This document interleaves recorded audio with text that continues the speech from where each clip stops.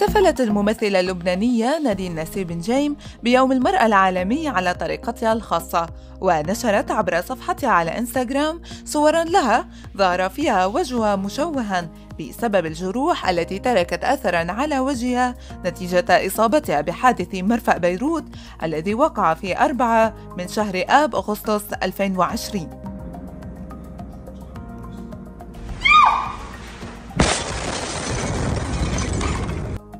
وأرفقت نادين الصور بتعليق وجهت فيه رسالة للمرأة طالبة منها أن تبقى قوية لأنها قادرة بنفسها كأنثى على تخطي كل الأزمات التي قد تمر بها. وقالت المرأة القوية قادرة على تحدي ظروف الحياة القاسية لتبقى صامدة طوال الوقت. فهي تصنع سعادتها بنفسها دون انتظار أحد. المرأة التي لا تنتظر التقييم من أي شخص مهما كان هي أقوى كائن على وجه الأرض. وأضافت ابقي قوية حتى يتعجب من حولك من قدرتك على إبقاء الابتسامة على وجهك رغم ما يحدث. تحية للمرأة اللبنانية على قوتها وعزيمتها وصمودها في ظل كل ما يحدث بلبنان. وتحية للمرأة العربية لأنها قادرة على التنفيذ واتخاذ القرارات في شتى المجالات. رأيتها في الصفوف الأولى فكانت كالقائد لمن حولها. ورأيتها في الصفوف الأخيرة فكانت كالحارس لعائلتها ورأيتها في المنتصف فكانت التوازن بين عقلها وقلبها. هدول هيدا انكسر سنة وانشقت شفتي شقتين. وكانت روت نادين تفاصيل ما حصل معها في ذلك اليوم المشؤوم وذلك خلال حلولها ضيفة على برنامج أحمر بالخط العريض الذي يقدمه الإعلامي اللبناني مالك مكتبي.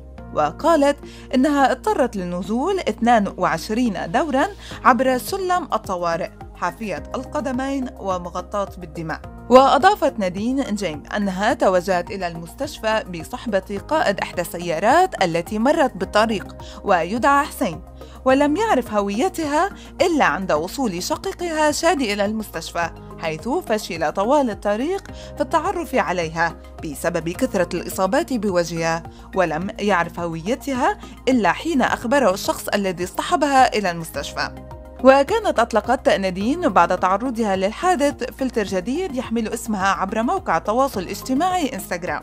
ونشرت نادين فيديو عبر حسابها أظهرت فيه بعض مميزات الفلتر وقالت حرقوصة صغيرة بعرف إنه حابين تشوفوا النتيجة بس حبيت تشوفوا شوي من فلتر الجديد. يلي رح ينزل بكرة. شكرا كتير كتير لرودي وإلي على جهودكم. صرنا شهرين بنشتغل على هالفلتر.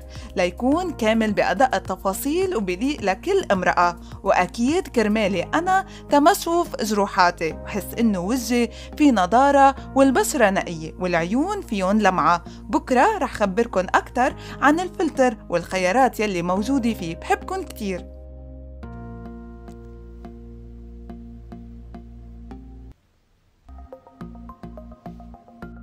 وبعد فترة من إطلاق الفلتر حققت نادين رقما قياسيا حول العالم بعدما تخطى عدد مستخدمي الفلتر الخاص بها عبر مواقع التواصل الاجتماعي 900 مليون مستخدم حول العالم. وعبرت تنجيم عن سعادتها بهذا الرقم القياسي بتغريدة عبر حسابي على تويتر 900 مليون قريبا مليار. شكرا لكم على استخدام الفلتر الخاص بي.